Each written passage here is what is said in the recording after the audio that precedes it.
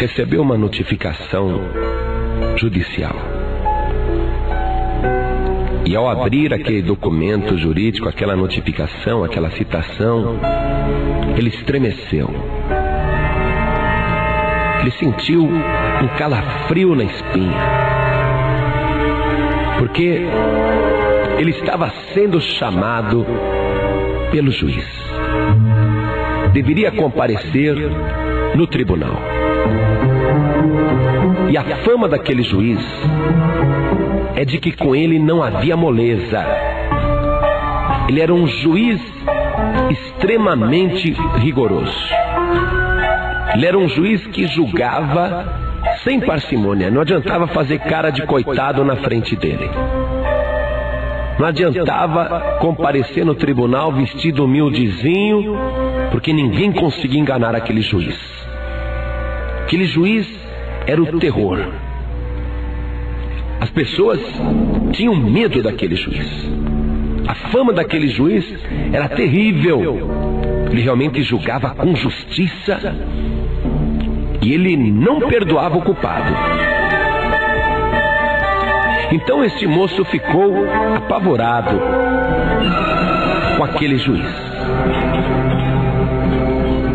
Então ele foi procurar um amigo um amigo que pudesse ajudá-lo a comparecer diante daquele tribunal.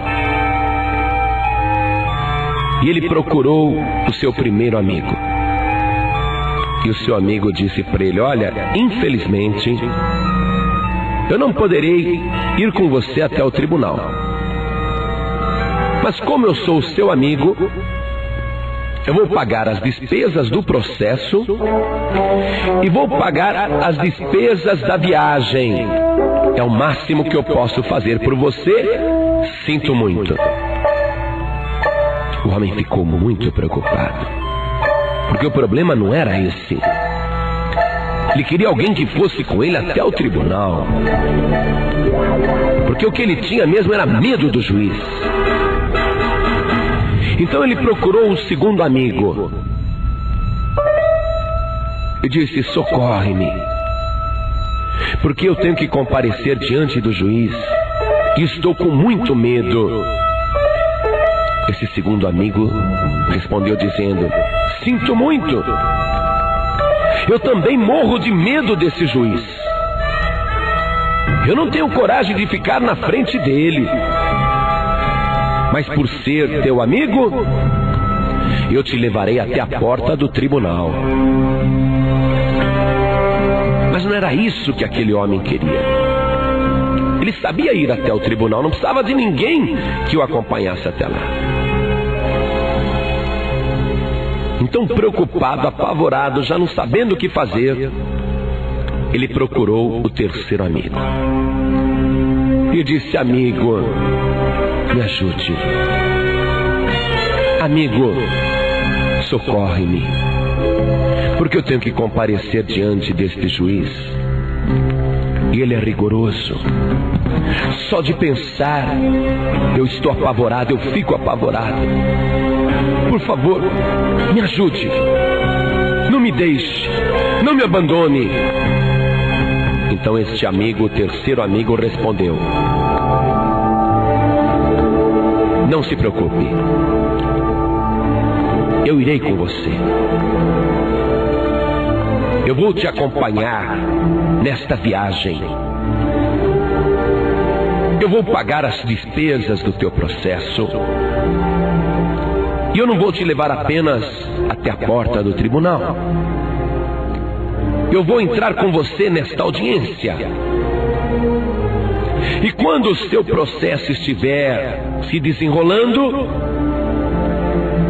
enquanto as testemunhas estiverem te acusando, eu vou me levantar e eu vou te defender. Eu vou te defender com uma tal convicção e com ardor tão grande que eu tenho certeza que eu vou te livrar. E eu te digo mais ainda: não se preocupe, porque eu não sairei dali enquanto você não for absolvido.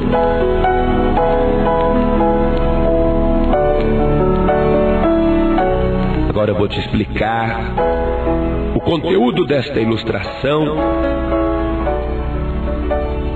Eu vou discernir para você agora o que quer dizer este mistério. Você que está me escutando, preste atenção. O homem desta história sou eu, é você, somos nós, a humanidade. O juiz desta história é Deus. Muito bem. O primeiro amigo que este homem procurou, o que foi o que o primeiro amigo disse? O primeiro amigo disse: Olha, eu não posso ir com você, mas eu pagarei as despesas do teu processo. Esse primeiro amigo é o dinheiro.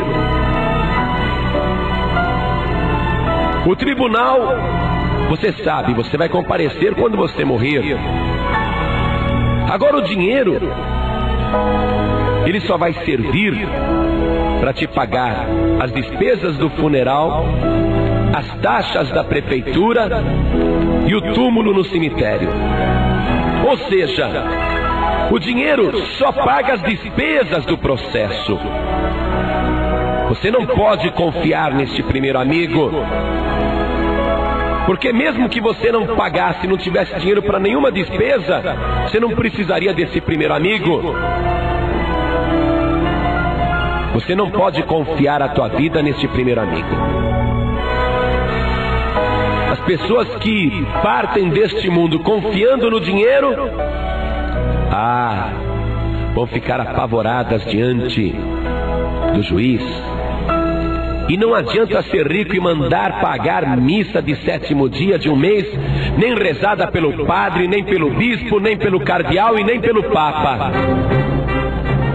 Porque o dinheiro não compra a salvação. A salvação é de graça. Primeiro amigo não serve. Você viu pela história. A ajuda dele é limitada e não resolve. O segundo amigo desta história que foi que ele disse. Ele disse: Eu não vou com você diante desse juiz porque eu tenho muito medo dele. Mas por ser teu amigo, eu te levarei até a porta do tribunal. Quem é este segundo amigo? O segundo amigo do homem é a família. A família, quando você morrer, eles irão pegar a alça do teu caixão, irão levar até o cemitério. Esperarão o teu corpo ser sepultado, o teu caixão descer à sepultura, e sairão correndo do cemitério, porque lá é a porta do tribunal. O segundo amigo, a família, tem medo do juiz, porque sabe que o juiz é rigoroso e sabe que um dia também terá que comparecer diante do juiz rigoroso. As pessoas que confiam na família ou comprometem a salvação por causa de família, tipo aquelas pessoas que dizem: Ah, eu nasci em tal religião, não vou mudar, porque toda a minha família é dessa religião. Meu pai nasceu nessa religião, meu avô morreu nessa religião, eu também vou morrer nessa religião. Que pena, você vai morrer mesmo nessa religião. Por causa da tradição de família, você vai ficar abandonado na porta do tribunal. A família não vai te defender diante do juiz. Não fique imaginando, não, que a sua mãe que já morreu, teu pai que já morreu, não fique imaginando que eles vão comparecer diante do juiz para te defender, dizer que você foi um bom filho, uma boa filha. Esquece. O segundo amigo, a família, só te acompanha até a porta do tribunal deixa você lá debaixo de sete palmos de terra e sai correndo do cemitério, porque tem medo. O terceiro amigo do homem, o terceiro amigo que ele procurou, ele disse: Ajude-me, estou apavorado. não sei o que fazer. E o terceiro amigo respondeu: Fique tranquilo, eu vou pagar as despesas do teu processo. Eu vou não apenas te levar até a porta do tribunal, mas entrarei com você na audiência. E quando estiverem te acusando, eu te defenderei e não sairei dali enquanto você não for absolvido. O terceiro amigo é Jesus Cristo, o Filho de Deus.